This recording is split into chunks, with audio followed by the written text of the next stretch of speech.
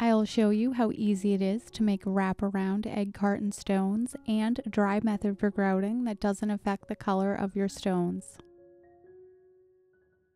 I'm making a stone fireplace hearth to cover the spot on the floor and that starts with harvesting some egg carton. Egg cartons have this really great natural stone texture so I'm just cutting up my egg cartons to use the flat bits. You can find a similar texture on other paper pulp products, so keep your eyes peeled. I want the stones to wrap around my hearth, so I'm making a mark in a shallow cut line so I can fold them over the edge. Folding the end over the hearth will make it look like one thick piece of stone. I cut a rectangle of scrap cardboard to use as the hearth base that I'll attach the stones to. You could also use this wraparound method on the corner of a building. Rather than making individual stones, I cut some strips of egg carton so the stones will be the same width, and then I marked and cut the length as I went. It's completely optional, but just to keep the stones looking a little more organic, I went along with my X-Acto knife and shaved the edges. This removes the really blunt cut that's created by an X-Acto knife or scissors. I started out using Fabri-Tac to attach the stones, but I had to hold the edges in place too long, so I later switched to hot glue.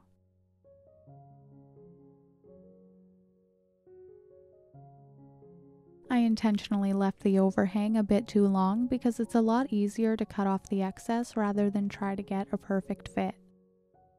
Then I attached the stones straight across, making sure to shave the edges first to give them a more natural look and leave a small grout line between them. I'm cutting my stones into rectangle shapes and later I color them to look like slate.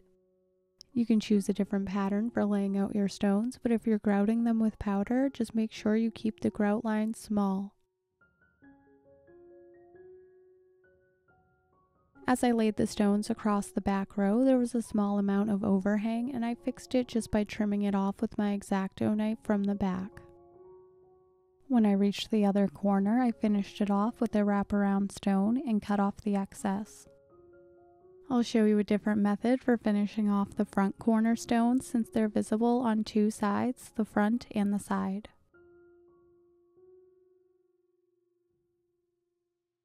For the second row, I staggered the stones like bricks, shaved all of the edges, and wrapped them around the ends.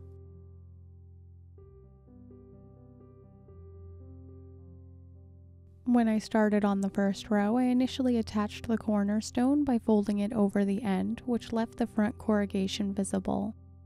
I intended to cover it with a strip of egg carton later, but I end up removing it and come up with a much better solution. To fix this awkward cornerstone, I started by removing most of it with my X-Acto knife. The hot glue held on really well. To cover the front and side of the corner pieces, I glued on a large rectangle, making sure to allow for the grout line and some overhang on the front and side.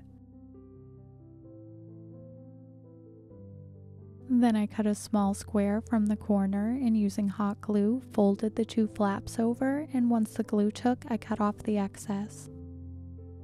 This made for a really tidy corner that looks even better when it's painted and I repeated the steps on the other corner.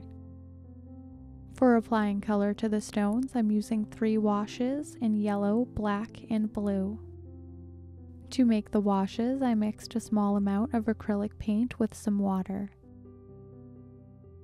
For adding color to the stones, I focused on the yellow ochre wash as a background and added small amounts of the black and blue wash.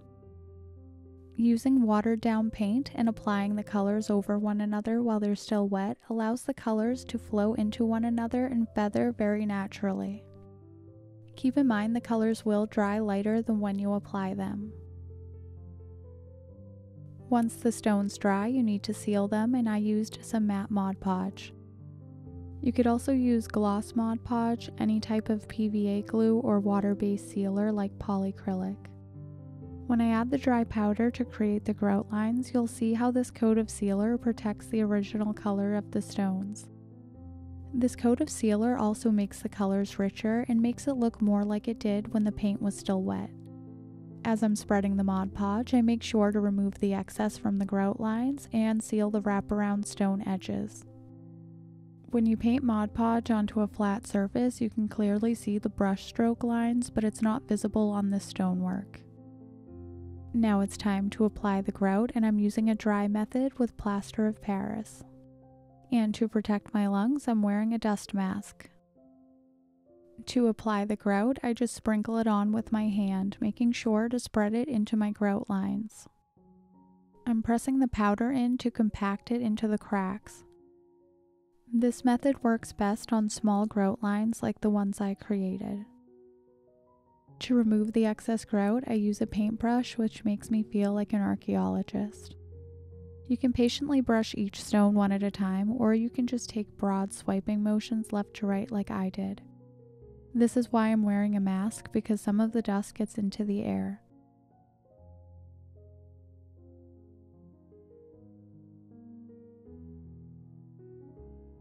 After I brush away most of the plaster of Paris, I use a damp paper towel to scrub it out of the texture of the egg carton stones.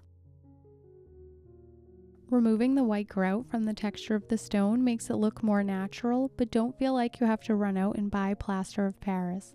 I'll explain to you how to achieve a similar result using spackle.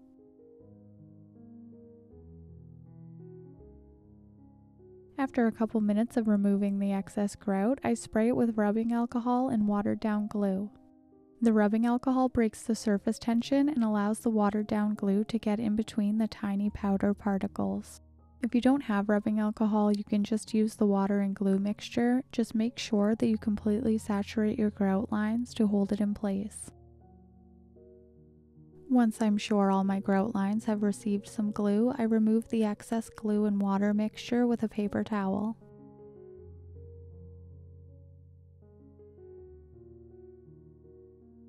No matter what method you choose for making your egg carton stones, the final step should almost always be dry brushing because it really brings out the texture and makes them look like natural stones. I'm using a dry brush and some cream colored paint on a silicone mat to add my dry brushing. Dry brushing highlights the highest points, so make sure you choose a color that's lighter than your stones for contrast. The key for adding grout without changing the color of the stones is to seal them before grouting, so you can achieve similar results with spackle by just sealing the stones, adding the spackle, and wiping off the excess. To change the color of the grout, you can apply a wash. If you don't want the wash to affect the color of the stones, make sure you wipe it off of the stones after you apply it and before it dries. I'm using this particular hearth in what's supposed to be a kitchen from the 1800s, so I left the brown wash on the surface of my stones to make them look older. If you enjoyed this video, please give me a like and maybe even a comment. And if you're new to the channel, I'm Shira from Queen City Minis. Thank you so much for watching.